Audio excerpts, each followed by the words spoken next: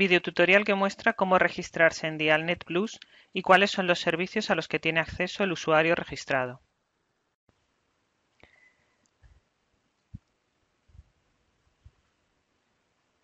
Dialnet es uno de los mayores portales bibliográficos del mundo, cuyo principal cometido es dar mayor visibilidad a la literatura científica hispana. Se centra fundamentalmente en los ámbitos de ciencias humanas, jurídicas y sociales, y constituye una herramienta fundamental para la búsqueda de información de calidad. Es un proyecto de cooperación que integra distintos recursos y servicios documentales, como base de datos de contenidos científicos hispanos, servicio de alertas bibliográficas, hemeroteca virtual, depósito o repositorio de acceso a la literatura científica hispana texto completo, con una clara apuesta por el acceso libre y gratuito a la misma. Además de los servicios que ofrece en abierto, Dialnet Plus da acceso a numerosos servicios avanzados y personalizados, búsqueda de documentos, buscador avanzado de autores, buscador avanzado de congresos, selección de documentos, exportación de documentos seleccionados en diversos formatos, almacenamiento de búsquedas realizadas, listas bibliográficas para compartir, etc. Para darse de alta como usuario registrado de Dialnet, es necesario rellenar el formulario accesible desde el enlace que hay en la página principal, Registrarse. Debemos rellenar la información personal y es fundamental seleccionar el tipo de institución con la institución a la que pertenecemos.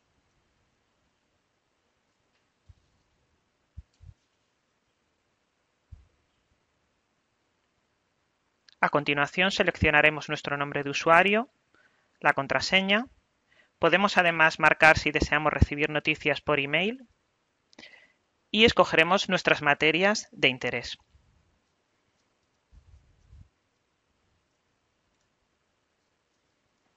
Finalmente, aceptamos la declaración de protección de datos y aceptamos. El usuario registrado puede suscribir alertas, realizar búsquedas, acceder a toda la información y modificar el perfil de usuario. Si además pertenece a una institución vinculada a Dialnet, puede disponer de los servicios añadidos de Dialnet Plus.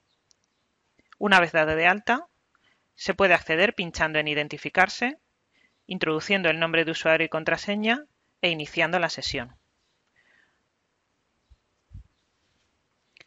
Podemos ver nuestro nombre de usuario y todo nuestro menú personal suscripciones, mis búsquedas, mis referencias, selección, etc. A continuación veremos todas las opciones que nos ofrece el menú de usuarios registrados. Una de ellas es la alerta de revistas, que nos permite suscribir alertas de aquellas revistas que sean de nuestro interés, de forma que recibiremos un correo electrónico cada vez que se incluye un nuevo número en Dialnet. La suscripción de la revista puede realizarse desde la pantalla donde se visualizan los títulos tras una búsqueda o desde las propias páginas de las revistas. En la parte izquierda de cada título podremos marcar la casilla de aquella que nos interese y al quedarse resaltada de color quiere decir que ya estaremos suscritos a la alerta de esa revista. Podemos comprobarlo pinchando en suscripciones en el menú de la derecha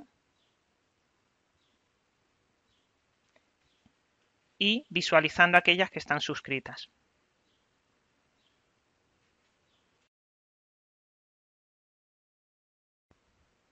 Otra de las cosas que podemos hacer es la selección de documentos. La selección de documentos solo está disponible para usuarios de Dialnet Plus, que podrán seleccionar aquellos que sean de su interés, los cuales se guardarán durante la sesión abierta como usuario registrado. Una vez realizada una búsqueda, en la parte izquierda de cada referencia aparece un recuadro que marcaremos para seleccionar el documento que nos interese. La selección es automática y nada más marcar la referencia queda resaltada en color verde. Se pueden seleccionar referencias de diferentes páginas en diferentes búsquedas, las cuales se guardarán durante la sesión abierta como usuarios registrados. Finalizada la sesión se perderá toda la información almacenada. Para consultar las referencias seleccionadas hay que acceder a la sección Selección en el menú de usuario. En este apartado se visualiza el listado de referencias y se puede trabajar con los resultados exportándolos en diferentes formatos o creando listas de referencias. Dialnet Plus ofrece a sus usuarios la opción de guardar búsquedas, permitiendo un máximo de 20. Una vez realizada la búsqueda, Dialnet muestra la pantalla de resultados.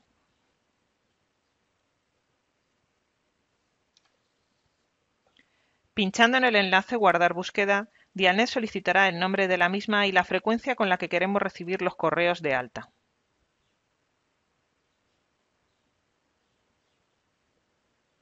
Pinchando en Mis búsquedas, podremos ver el número de búsquedas guardadas y las que quedan libres. Podremos ver la estrategia utilizada, ejecutar las búsquedas de nuevo, modificar la frecuencia de las suscripciones o eliminar la búsqueda. Y por último, Dialnet Plus nos permite crear listas de referencias para compartir con otros usuarios. Lo primero que tendremos que hacer será crear nuestra primera lista. Para ello rellenamos el formulario con los datos que nos solicitan. El título corto y largo son campos obligatorios.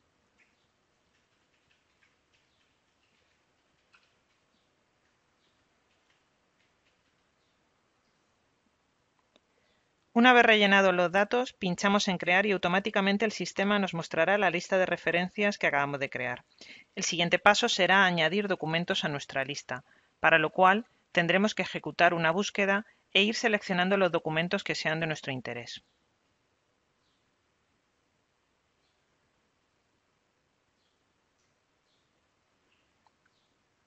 Cuando los tengamos seleccionados, pincharemos en Añadir a referencias.